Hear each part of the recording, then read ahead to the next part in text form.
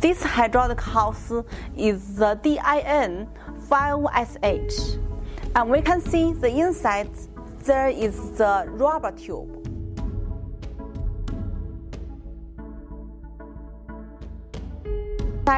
This is the closed one, and we also could make like this the smooth one. We can put your logo here and uh, print these details here according to your demand.